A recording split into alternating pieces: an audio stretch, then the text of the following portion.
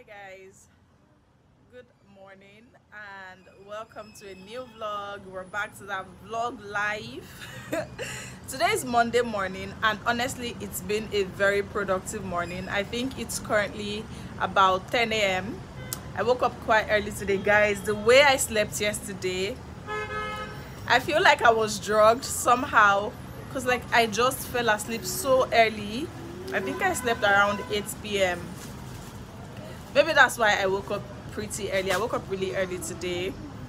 I woke up since around um, past 5 a.m so it's been productive. Like i slept so early last night. I didn't even make dinner. Like it was just like me telling myself i wanted to just rest and i slept off.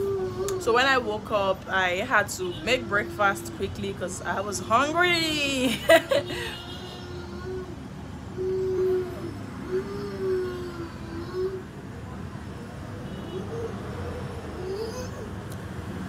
anyway yeah i made breakfast and then i started working.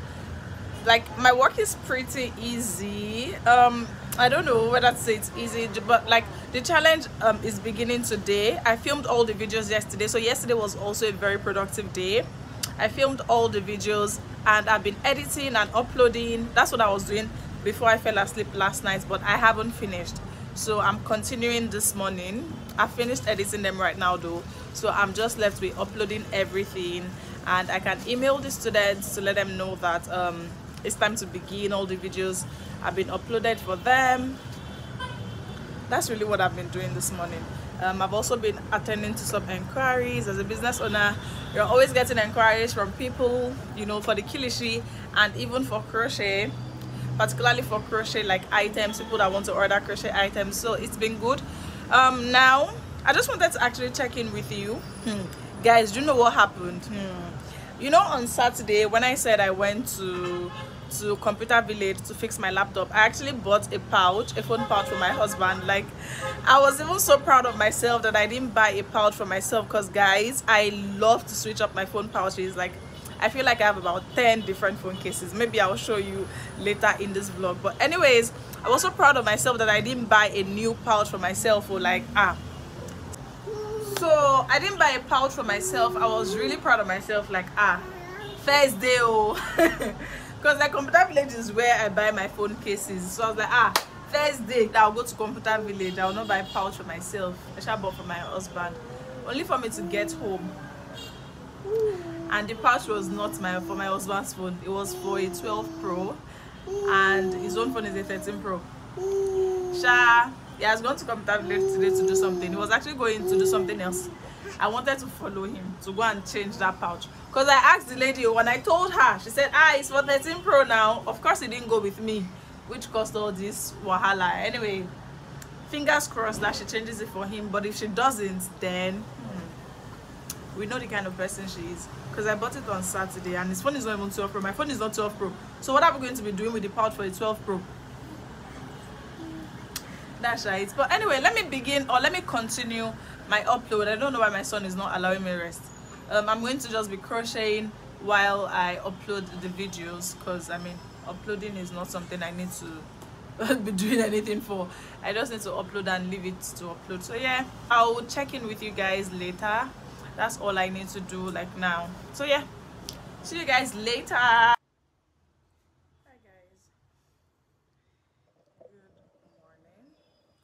actually noon right now.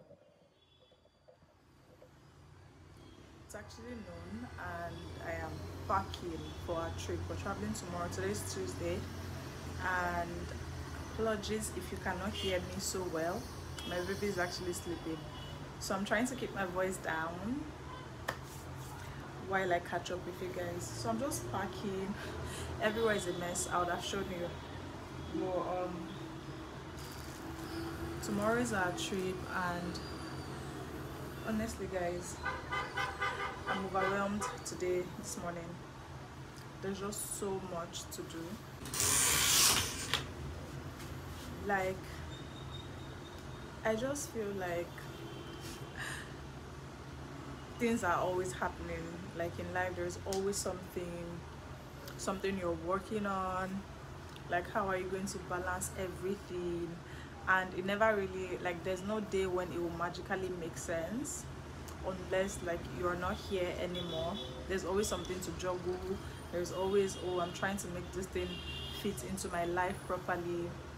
I don't know if i'm explaining it well sha but like the whole thought is just really overwhelming. I'm not going to lie. Like can they all end? Can i not have anything to do? Or can i just do whatever i want but like you, you can't just do whatever you want especially as a married woman or as a mom even. Because like i need to attend to my baby's needs. The home needs to be taken care of you know. It's just i don't know sha. Sometimes it's not fun i'm not going to lie. And then i'm trying to catch up with business you know. There's just so much on my plates I was telling you yesterday about how I always have so many pouches for my phone. Let me show you guys. I have them in this night.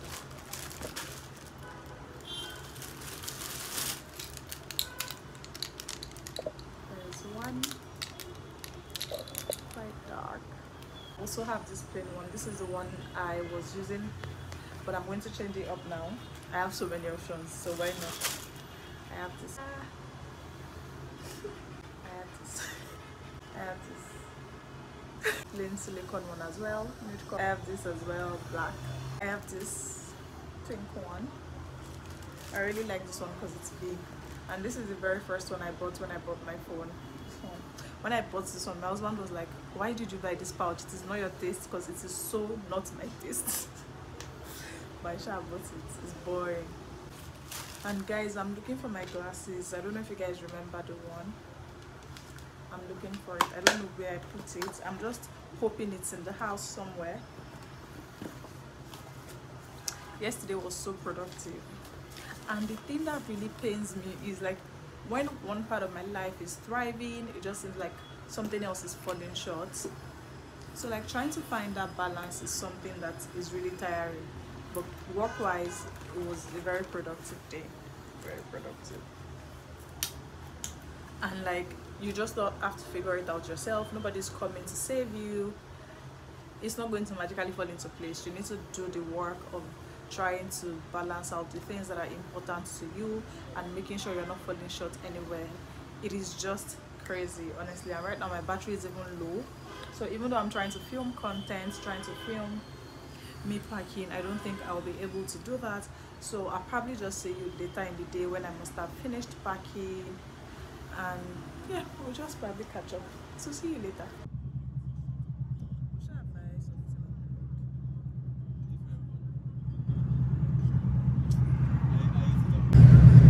I can. I still want camera. I wanted to maybe I can buy it.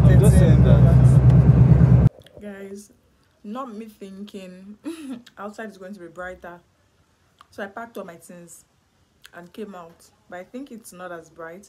So I'm going to go inside now just to see which is brighter. And i'm actually eating noodles. I don't like cold food. So guys i think the video is brighter inside. So i'm just going to chat with you guys here. Guys a lot has happened. We're actually in Ilorin now. I told you guys that we're traveling for Eid. So we traveled on um on Tuesday. Today's Thursday Today's Thursday. Um, Eid is on Saturday, inshallah. And um, it's been a ride. I did, like, I'm going to be sharing with you guys something that happened. I delivered or we worked on some hats. It was a bulk order. Yes, I told you guys earlier. And the hats were the wrong size. So I've been having to, you know, fix them. Actually make new ones to meet up for the delivery, which is tomorrow. That is why I haven't vlogged much because I've just been really busy trying to fix the hats. But this afternoon, I was listening to a sermon on radio. Actually, my mother-in-law was playing the sermon on radio. It wasn't like I was playing the sermon myself. And like it really, it really resonated with me. And I just had to share with you. That's the main reason I'm like, like that's the main reason I carried my phone to do a video, like to vlog today. Because I just had to share the lessons from that sermon so that I can also always come back to it so I like never forget. Anyway, guys, so the sermon was about Eid. I actually really like enjoyed listening to sermons. I learned a lot from sermons. And it was even a Yoruba sermon, like the Alpha was preaching in Yoruba. And I was just talking about the Eid story, like why we have to slaughter rams, you know. He was initially talking about how the most important thing is in the size of um, ram you kill. Like as long as you're like killing a ram as like killing a ram to dedicate i couldn't film inside because a lot of people are around. And it's not easy to get everybody to be quiet. Okay so the sermon was like when the prophet when prophet ibrahim was asked was asked to sacrifice his son he didn't flinch like he just went ahead and he was ready to do so. Even though you know the son made him really happy. Allah gave him the son and now allah is about to make him sad with the same blessing. All right but he still went and he was like going to sacrifice his son willingly. I just hope you guys can hear me. It's really quiet here in Ilorin. It's fine but I'm trying to not now shout so that I won't be the one making noise. anyway, when they were going, like when he told his son, his son also did not object. Like his son was just like, he should do whatever Allah, Allah has asked him to do. Like that is just so, it's so deep. And when they were going, you guys, I don't, I've never read this story. I'm actually just like I'm just what's it called? I'm just narrating the sermon I listened to to you. So when they were going, the son told his father that he should, you know, tie his eyes tie his arms and his legs so that he's not struggling you know because i mean it's not so the son told his father to tie his arms tie his legs so that he's not going to be struggling. And because his father is an old man he doesn't want to stress him. Like he didn't even want to come in the way of his father obeying allah at all. Then when they got to um you know the old setup the old setup where he was going to um slaughter him his son then told the father to remove the blindfold from his eyes because he didn't want it to seem as if he is grudgingly accepting what Allah has said. Like, do you guys get it? Like, like he said his father should remove the blindfold because he wants Allah to know that he's willingly like is willingly obeying him. Like i'm not obeying you by force. I, like i'm obeying you from the bottom of my heart. Like that really almost brought tears to my eyes you guys. And i know it's so dramatic but that that level of submission it's really intense. I'm not going to lie. Like this is what Allah said, and I willingly completely like he told his father to remove the blindfold so that his eyes are open and it's not as if oh I'm struggling to accept this thing, like I willingly accept it. And then here comes the powerful part. His father took the knife and was like I don't know what is what is it? it was slaughtering him like he put a knife on his neck but it wasn't cutting oh my god I I know that this can be dramatic, but the story just really sends chills down my spine. Like, do you know how powerful Allah is? For somebody to take a knife, I believe the knife must have been really sharp, you know, and it's cutting something and it is not cutting. Do you get like? And then Allah um, sends a ram in replacement. I, I don't know, but for me, that from that sermon, the things I really took out is like complete submission to Allah's will. Like if you submit to Allah, is able to do anything, right? Like the man is submitted, he and his son submitted completely to what Allah told them to do, but Allah was still able to like Allah still like made them happy as a result of their submission. If he did not submit, Allah still had the power, or Allah had the power to have maybe killed his son like via any other random like he could have disagreed and then the son would have still died you know? But like he completely agreed and for that reason Allah just spared his son and we have a beautiful celebration. I actually did read a book on this same topic like the real essence of slaughtering rams. And that submission just seems to be like the real key thing in this whole Eid celebration. And I'm glad that I was able to like figure that out because it's like really sticking with me now this submission thing like actually just totally submits to the will of Allah and is able to do all things. He's going to make all things beautiful you know? And whatever he decides or whatever he does is best. It's whatever allah does is, is the best. So just like trust that what he's doing is the best and this is more of a sermon for you as it is for myself because like i said i just wanted to record this so that i would never forget that i listened to this sermon.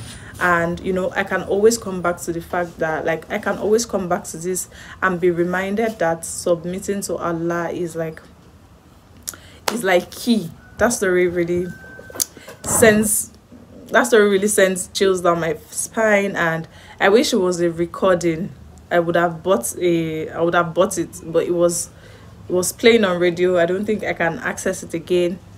And if you listen to yoruba alphas like there's a way they, they describe things that that sends the messages home. Like i really enjoy yoruba sermons. It was just good. I wanted to share that. We're preparing for eid. I need to actually run back to my crochet now because i have a long way to go. I'm making like five of this although um so i'm making five of this and um i'm making everything simultaneously you can't really see the color isn't picking up but I'll probably leave a picture of the finished thing on screen or show you before sending it off. I'm supposed to send off to Lagos tomorrow, Friday, and this is Thursday, 7 minutes to 4. Guys, I need to run.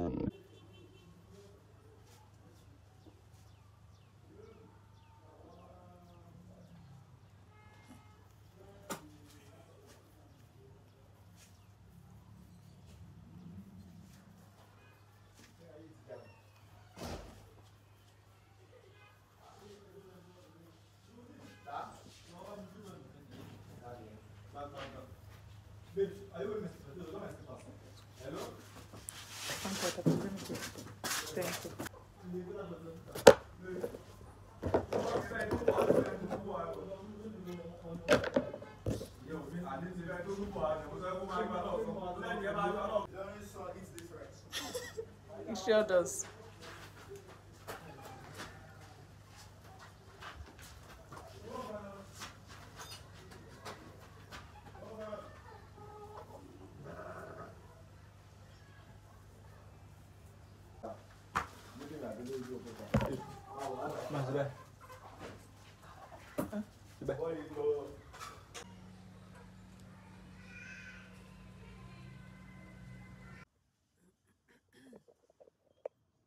Guys um i'm just actually going to close out this vlog and start another vlog when i feel much better. You can see my face also looks sick. I'm just recovering. Everybody in my house fell sick and we're all just recovering. So um thank you for watching this vlog. I know it was all over the place but um i'll see you in the next vlog. Thank you for watching. See you